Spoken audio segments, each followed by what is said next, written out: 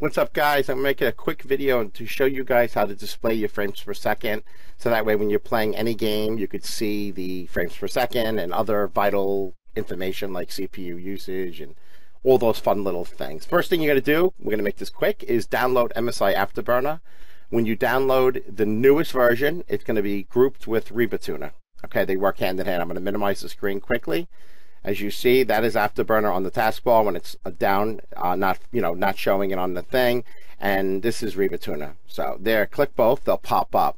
First thing you're going to do is click Settings. In Settings, you're going to see I have two GPUs. Doesn't really matter. You're going to click Start with Windows. Okay. Uh, fan monitoring, I've done a video on it in the past. If you guys want me to do a newer one, I'll show you how to do your fan monitoring so that way you can control your fans on your GPUs or your video cards. So uh, you you can control the speeds that you want it. Okay, this is how we're going to do it. Um, my friend had a problem with frame rate. I don't know how to do it. Doesn't make any sense. Very simple. I'm going to just show frame rate as your actual teaching. Click frame rate. And if you see in here, it says NOSD. If you don't know what that means, that means on-screen display. Right there. Unclick it, it disappears. Click it again, there it is. Uh, this is maximum limit. What this is, is the amount of milliseconds it's going to take to keep displaying it and the longer you lo- the you know the higher the number the longer this graph will go so that way if you want to go back in time after you gamed that you can see how your stuff was running you'll have enough time to go back and check you can extend this number you can shrink this number that is all up to you hardware pollings thousand the higher you raise this number is the longer it's going to take to refresh the frames per second and every other information. I leave it at a thousand. Okay, and the same goes with everything else. You can pick whatever you want. You can go CPU temperatures, everything you want. I'll show you another instance like I have CPU one usage. Again, I'm going to uncheck the show and on-screen uh, on display and it disappears. It won't monitor anymore. Click it again and now it's there. It'll display as you play the game. Okay, and you can pick whatever you want. It's self-explanatory of what you want, what you don't want.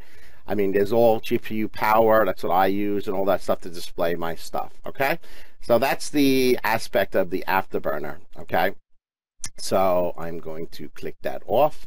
Go into RivaTuner. Guys, set it up just like this. All right, set your settings just like this.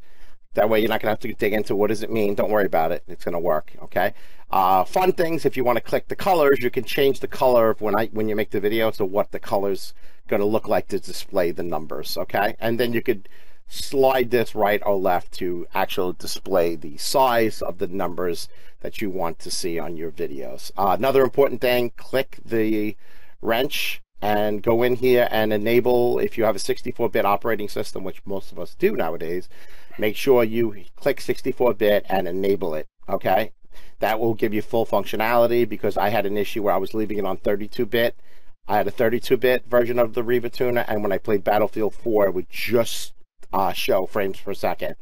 And some other games had issues. So once you do the 64-bit and enable it, you're going to be absolutely in perfect shape.